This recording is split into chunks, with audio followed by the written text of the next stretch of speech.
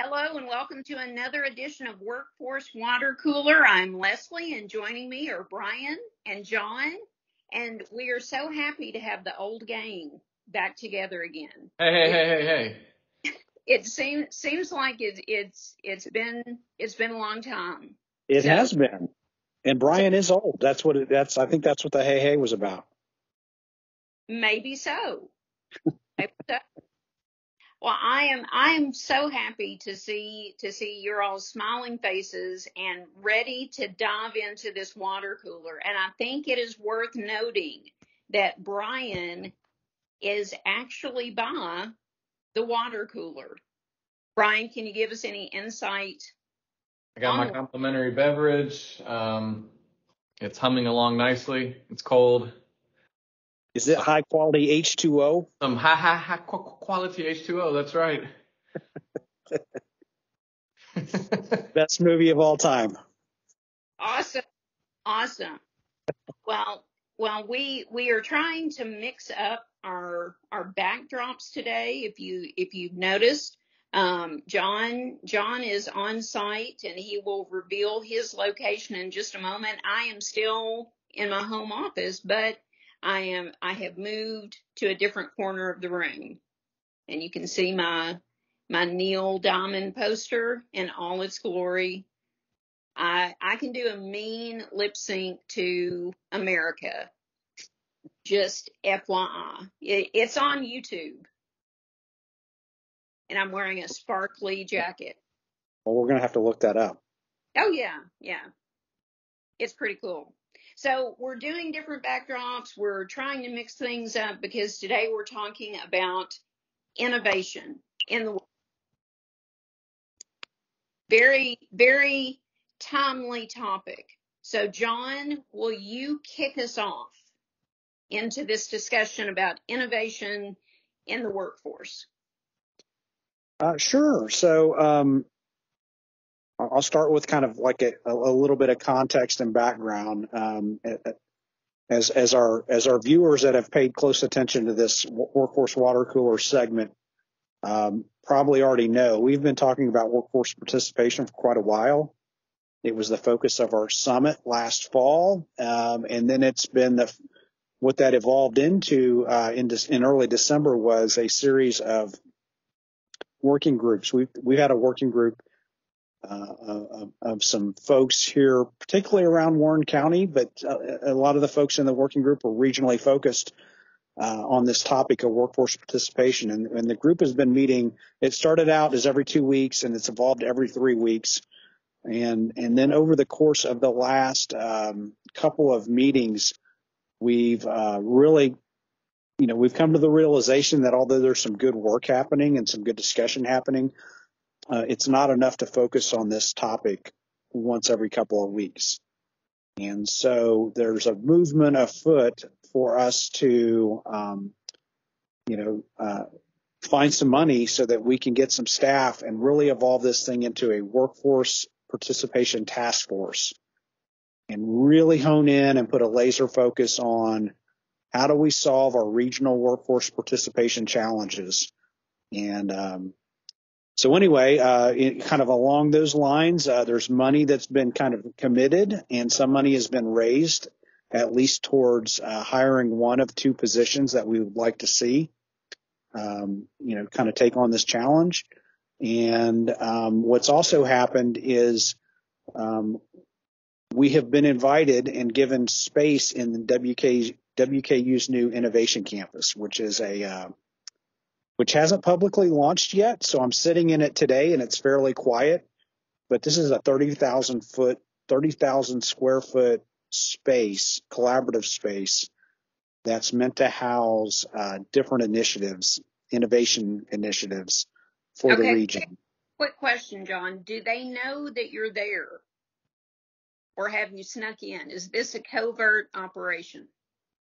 I wouldn't say it's covert. Uh, there's a side door and I've got key. You know, basically what happened after one of these meetings, they basically said, Hey, John, um, we need, we would love to have you kind of lead this effort and come in and create a workforce innovation lab inside of this space. And so Brian and I have both been given keys, and we've actually hosted the last couple of meetings in this space. So, but there's a there's a side entrance that so that I don't I don't really have to pass anybody coming in.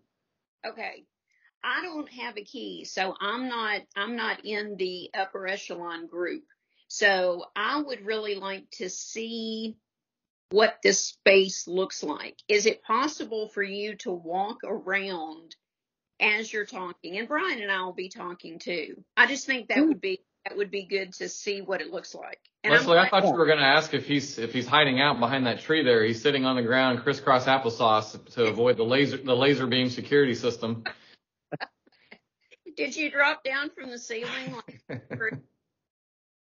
I, I, that can be arranged. okay. So I, yeah, I'll walk around and I would just say, I mean, imagine this is a co-working collaborative space. Um, and I'll start to, I'll flip the camera and I'll walk around, but imagine, I mean, again, it's not officially open to the public and launched yet, but you know, you can, you can kind of visualize different groups working out of here. And, um, and part of what happens when you, um, so I'm going to start just kind of panning around and walking around. So part of what happens when you commit to working out of this collaborative space is you agree to let anybody in here can kind of come in, see what you're doing and engage you in conversation and, um, and contribute to whatever it is you're working on. And that's kind of a, that's kind of a cool uh, feature of this space. And so what you've got is you've got uh, a lot of uh, open cubicles and these can be, you know, these can be, uh, you know, you can come in and, and set up shop here. There's a couple of companies that do come in here and work out of here one or two days a week already. And, you know, they've got basically assigned cubicle spaces. Um, there's like incredibly high speed fiber, uh, connection here. So it's, uh, it's, it's got, it's, it's got a lot of nice features, uh, for, for a co-working space. Um, it's going to have, uh, you know, kind of looking, if you look straight out, um, there's a, behind that wall there on one side, there's a conference room, straight ahead, there's bathrooms and to the left behind that wall is a large kitchen. Um, so anyway, the, uh, the premise is, is that we're going to set up an innovation lab and we're, we've actually been given, we've already signed a lease agreement at no cost because they really want us here. And we're going to kind of get this corner of the there's a room that I'm walking towards, and we're going to get a a um, a small what we're going to call a war room back here, which is really just a small. Basically, it's just a small uh, conference room. But the idea is that um, you know we'll have this corner, and then we're going to have this is going to be set up as a war room.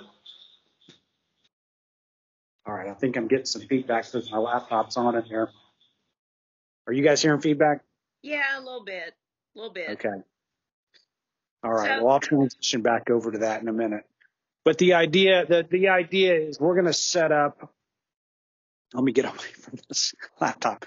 The idea is we're going to set up a war room over here and a co-working space and we're going to, um, you know, we're going to, we're going to identify different uh, challenges that need to be solved for short-term challenges, intermediate and long-term challenges uh, on how to get more people back to work, how to get people recruited to the region for uh, our jobs, how to what to you know we have to anticipate how our economy is going to change. I'm sorry, Leslie. I, I was just going to say, don't walk into that column. It looked like you were getting you were getting very close. Well, a lot a lot of what you're saying, John and Brian, tell me tell me if I'm on the right track a lot of what you're saying about this, you know, this task force housed at the innovation campus, this is the same kind of stuff that we were we were talking about with our workforce summit. So these things pretty much go hand in hand. Brian, do you do you agree?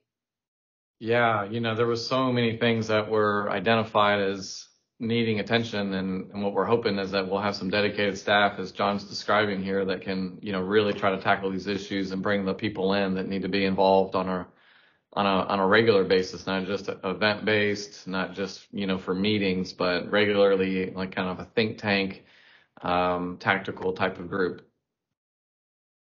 Yeah, I, I, what we envision is, you know, one or two folks here that really help frame it, frame the issues, frame the challenges, and then, you know, what we can we can leverage this space by bringing different people in. We could bring in grad students to help us solve a particular challenge or pr- put ideas together, or perhaps there's going to be professors or industry leaders uh, from the community that want to come in and tackle, you know, one of these um, one of these challenges. So what we kind of see is framing out maybe some different subcommittees to tackle different challenges. You know, we could have a subcommittee focus on, for example, um, you know, how is our economy going to change based on this announcement about electric vehicles between the Ford plant and the Envision plant? What does that mean to the economy? What another one potentially could be there's talk about high speed rail coming to the region. Well, what would that mean? How do we how do we how do we account for what that means in terms of does it bring workers into the region or does it help our workers go outside of the region to work? Um, how do we another challenge is how do we how do we change attitudes towards work? That's a really long term cultural attitudinal challenge and and that may involve you know, how do we activate our faith community and our coaches and other community influencers to talk about the values of the value that comes with working, the self worth, the the physical, mental, social benefits that come with working. How do we have how do we get back to having those conversations with youth and adults and and motivate more people to get back into the workforce? So, but so it's not like one or two people are going to figure all that out, but it, out of this kind of creative, collaborative space, can we organize different challenges or problem sets to solve and then bring in people to kind of volunteer and help us solve some of this. And so that's that's what's kind of cool and innovative about this approach is that we're going to activate uh, and harness the, the the the the brain power of our community to help us figure some of this out. And it's and, and look at it from a regional and from a regional develop right. regional solutions. Right. And the the whole focus of the task force and what came out of our summit and really what the board is tasked with doing is increasing workforce participation. Every, you know, all of these different things we're talking about we're trying to get people back into the workforce or we're we're trying to to motivate people who've never been in the workforce to you know to take that step yeah. so as many different ways as we can tackle that problem i think that you know that it is it is absolutely worth the effort you know we we, our region is only as strong as its workforce. And we have to increase participation. So I think it's, it's very cool. Just, you know, the, the space looks very neat and the idea of having, you know, staff devoted to this one sole issue and bringing in different people and, and tackling it from different perspectives I mean, that's incredible. It is. We, uh, you know, we've the the city of Bowling Green and Warren County have uh, committed some money to this. Uh, I'm, uh, you know, I'm doing my. I, I think I'm going to be able to carve out a little bit of our money for this uh, to break in some of our money for it. Uh, there's already been uh, two grants submitted. Uh, you know, we're hoping to find out, um, you know, uh, whether we secure that funding or not. But I mean, so, I mean, I think there's enough money that we can get started with one person and, um, and, and hopefully there's some more money coming into this and that we can, we can really devote, you know, devote somebody to really organizing this for us. And, uh, the general idea is they would be, they'd come, they'd come onto the workforce board payroll and this would be their sole job and they would work and report back to, back to, you know, the leadership of the board. Brian, what did I miss on this? No, I think you you got it. I mean, there's just yeah, there's continued continued the momentum from the fall uh, because this part this problem is just not going away. You know, I think back to last summer how we thought, oh, you know, the benefits they're going to stop the unemployment insurance pandemic benefits and people are going to come back and we were all sitting around, you know, like this, or we thought, oh, you know, some of the summer camps were closed and not fully operational, but when school opens back up, then then the moms and dads, everybody's going to jump back in because their daycare woes will go away, and we just didn't see it. You know, I'm sure it worked for some people, um, and and obviously COVID, we had we had arguably the worst spike of COVID, you know, happening, and and I mean, there's people I know that were without COVID the whole time that got COVID, you know, the, this past winter. Um, it certainly affected in, you know, my family that we were able to kind of dodge those bullets and it, and it hit us. And so it's just, you know, um, it, it feels like though people are more optimistic that we're emerging from some things that, you know, there's, there's nothing else to wait for, but what we found out was it's exposed a lot of just deep rooted problems that, that weren't necessarily caused by the pandemic. They were amplified by the pandemic. And so we've got to, we've got to get to those root causes. So it's, it's exciting to think we're going to have people going after that. You know, I mean, I, this is, I'm going to go back to like put my old veterans hat on, but we used to, at one point in time, I was in a, a, um, a class, uh, kind of a long class, um, in the military. And we, there was a segment of the class where we, uh, we, we focused on what's called wicked problem theory. And the, the, the what wicked problem theory basically posits that some problems are so complex and multi-layered, multi-layered they can't be they can't be easily untangled or solved. There's no easy solution. And that's kind of what we have going on here is there's a lot of causal factors going on to workforce participation. And so what we have to do is solve try to I, kind of isolate and solve for different chunks of it to put a dent in it. And that's that that's kind of what I was describing before.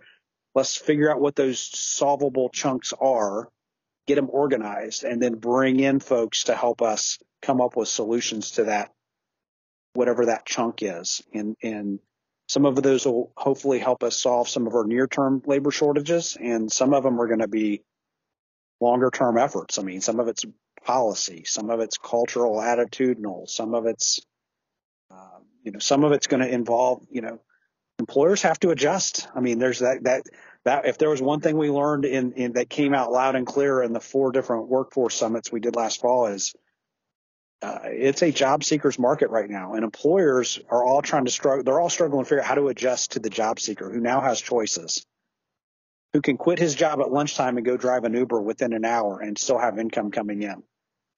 Right? I mean, it is a different marketplace, and so, um, yeah, we just got to get we got to we got to get this going and get our community and our brain power in the community working on this because the prosperity of our community is directly tied to workforce. How many people are working? How many people are making money? How many people are paying, paying taxes that support our schools and our police and our parks? I mean, it all, it's all intertwined. So. Leslie, would the great Neil Diamond have any words of wisdom for us right now, do you think? Um, I mean, he he would definitely definitely say, you know, they're they're coming to America. meaning this is a land of an of opportunity, and I think you know South Central Kentucky, which is located in America, is in and we've seen this over and over again. It's ranked as one of the best places to live over and over again. Different, you know, different magazines have reported it, different, you know, it, it's a fact. This is one of the greatest places to live in America. See, there's, there's Neil doing his America thing. Um, and we want to sustain that.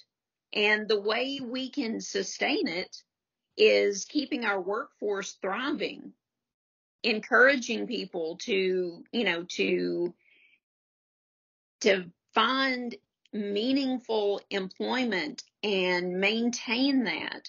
And as a workforce board, we need to let people know about these opportunities. And we also need to help employers, you know, get that message out there.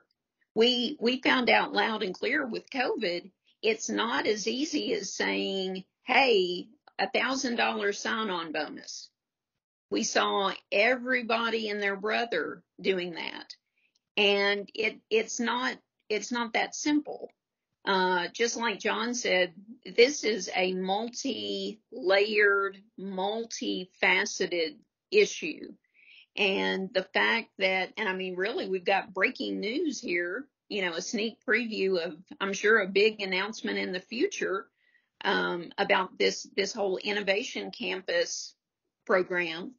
Um, the fact that we're we're looking at tackling it, I mean, very I wouldn't say aggressively, but assertively. We're, you know, we're trying to get out in front of this so that that we can thrive as a region. And I'm I'm so happy and so proud to be a part of this organization that is taking such steps. So Neil Neil would say, you know, they're coming to America, but we know in his heart he's saying they're coming to South Central Kentucky because it's the best place to live, it's the best place to work had I known that Neil Diamond would have been on the dock today, I would have I would have like grown out my sideburns and, and grown out my hair a little bit more. Well, you know, maybe maybe I can superimpose some some hair in in the editing process. Oh, uh, okay. I'll trust. I'm going to trust you on that, Leslie. All right, all right. You do that. you do that. We'll see. We'll see what happens. I walked so, out to that song um, at, at, our wedding reception when we were getting introduced. All the the you know people in the the, the bride and groom's party. Um, since my wife is from South America, we, we said we want to have that song blasting as we we get introduced back out from. Awesome. Yeah. That is awesome. That is that is like it's one of my favorite songs of all time. And there's a big story that goes along with it, but that would take up two water coolers. So I will, I will, sp- I'll, I'll tell y'all the, the backstory at a later date, but I'll send you the YouTube link of me, of my performance that Neil saw. Yes. Posted in the comments. That's right. That's right. If, if y'all won't be too embarrassed, I'll, I will post it in the comments. Yeah, it's a lot easier to get Leslie's concert uh, participation than it is workforce participation. So. yes, we, you know, we, but but that approach may work. Maybe maybe that's what it takes. You know, if that if if it if it it requires me putting on a blue sparkly Neil Diamond jacket to get people fired up about workforce participation, I'm down for it. Okay, noted. All right. As well, thank you so much, John. I appreciate your willingness to to show us this very cool space. Um, I'm excited about what's to come. Brian, I'm glad the water is is flowing and is a good temperature and it doesn't look like you will need to refill it very soon. That's always a daunting task to do that. Yeah, there's a there's a wrong way to refill these things for sure. when you when you take when you take the plug out first, um, and then yeah. try to put it upside down, don't don't do that. Yeah, yeah. I've seen people try to do that before, and the water just goes all over the place. It's a yeah. it's an H2O mess. Yeah, that's that's not a water cooler that that we want to have for sure. All right, thanks for joining us, and we will see you soon. Bye bye.